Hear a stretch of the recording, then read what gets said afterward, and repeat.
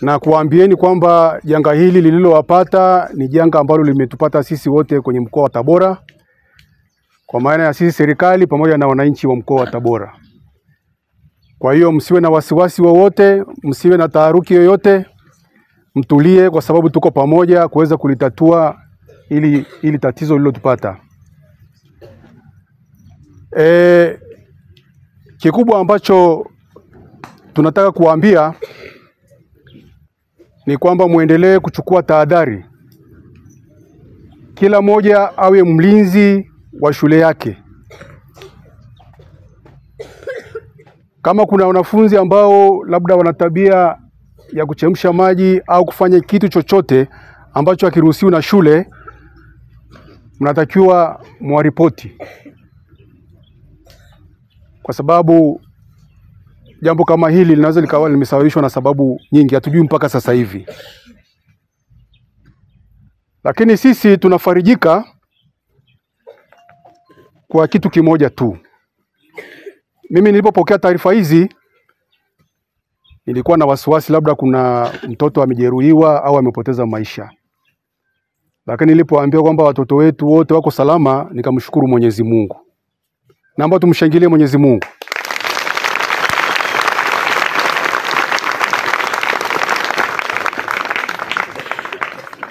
Wale watoto waliopata hili janga kwa maana ya kuunguliwa na vitu vyao, masanduku, uniform, madaftari na kadhalika, naomba kwenye akili zenu msiwe na fikra yoyote, msiwe na msongo wa mawazo wa aina yoyote, kwa sababu moja, jiulize kama ingekuwa ni usiku ingekuwaje, si ndio jamani?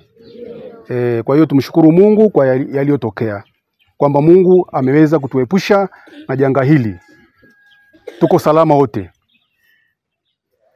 Sasa sisi tumekubaliana kuunda timu maalum, timu kubwa kabisa ambayo itakuwa inaongozwa na mkoa, na lengo lake hiyo timu itakuwa ni kufanya uchunguzi wa kina wa chanzo cha janga hili, kisababishi ni nini,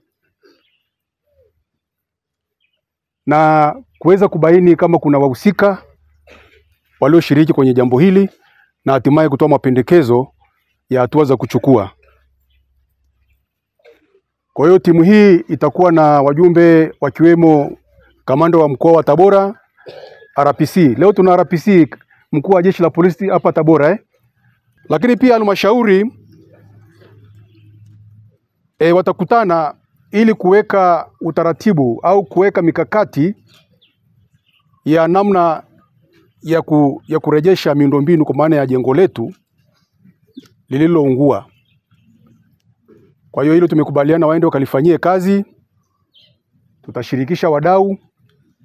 Yako mambo watakayoyafanya halmashauri, yako mambo ambayo yatafanya serikali kuu. Kwa hiyo hilo litaendelea kufanyiwa kazi, na kwa jinsi ambavyo tutashauriana, watatushauri, utekelezaji utaendelea kwa muda mfupi. Ndio sababu wenzangu wamesema kwamba msiwe na wasiwasi, serikali tupo, ndio kazi yetu kuhakikisha kwamba mnasoma katika mazingira mazuri. Mmenielewa eh?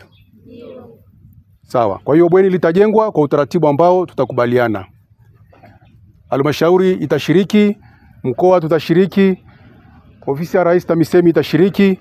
Kwa hiyo utaratibu huo utakamilika haraka, alafu utaletwa mkoani ili tuweze kuridhia na kuendelea. Lakini pia ushirikishaji wa wadau ni jambo la msingi sana ambalo tumekubaliana. Kwenye janga kama hili lazima tushirikishe wadau ili kuweza kupata mahitaji muhimu kama haya magodoro ambayo yameungua, kuna uniform, madaftari na vitu vingine. Tumeamua kwamba tutashirikisha wadau mbalimbali, na tumshukuru sana Mheshimiwa mkuu wa wilaya ameshalianzisha hili vizuri. Kuna wadau ambao wamewashirikisha na wameendelea, wameanza kuchangia.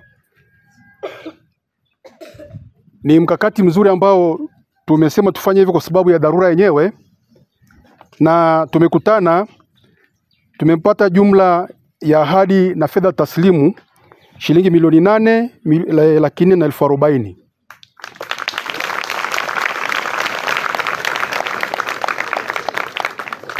Katika hizo fedha taslimu ni milioni moja na elfu tano na ahadi ni milioni saba laki nne elfu ishirini na tano.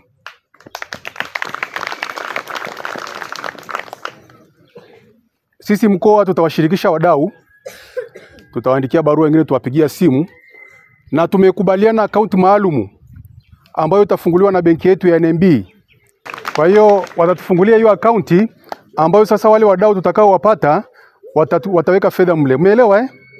E, wataweka fedha mle kwa ajili ya, ya kununua mahitaji muhimu ambayo yameungua kwenye kwenye hilo bweni. Na utaratibu wa malazi tumekubaliana, atawaeleza mwalimu mkuu baadaye. Wale watoto ambao wame, wamepata hili janga siku ya leo watalala vizuri kwa amani kabisa, kwa jinsi tulivyokubaliana, na wasiwe na wasiwasi, wasiwe na wasiwasi kabisa.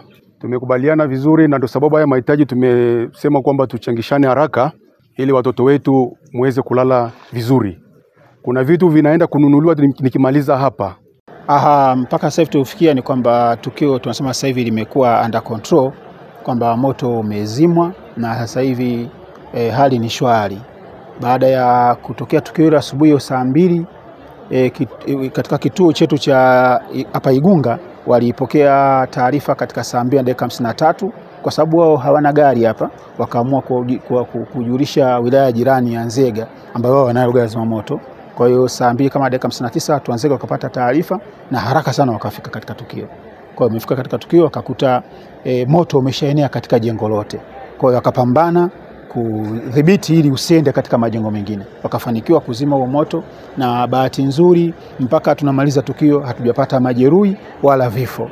Kwa hiyo tunasema tumefanikiwa kwa kiasi fulani, ila mali tu za wanafunzi ndo zimeharibika haribika, nguo zao, vifaa vyao vya kusomea pamoja na vitanda na magodoro vimeharibika. Mpaka sasa hivi chanzo cha moto hakijajulikana, na e, uongozi wa wilaya na mkoa umeshatengeneza tume ya uchunguzi ambayo itaanza kazi zake kuanzia kesho.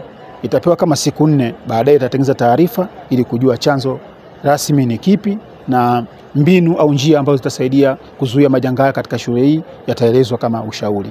Ninapenda wananchi wachukue tahadhari na kinga juu ya, ya, ya, ya, ya majanga ya moto ikiwa kufata tahadhari pamoja na ushauri unaotolewa na Jeshi la Zimamoto na Uokoaji katika masuala ya kinga na tahadhari, lakini pia wanapoona janga la moto watakiwa watoe taarifa mara moja kwa kupiga namba yetu ya bure moja moja nne.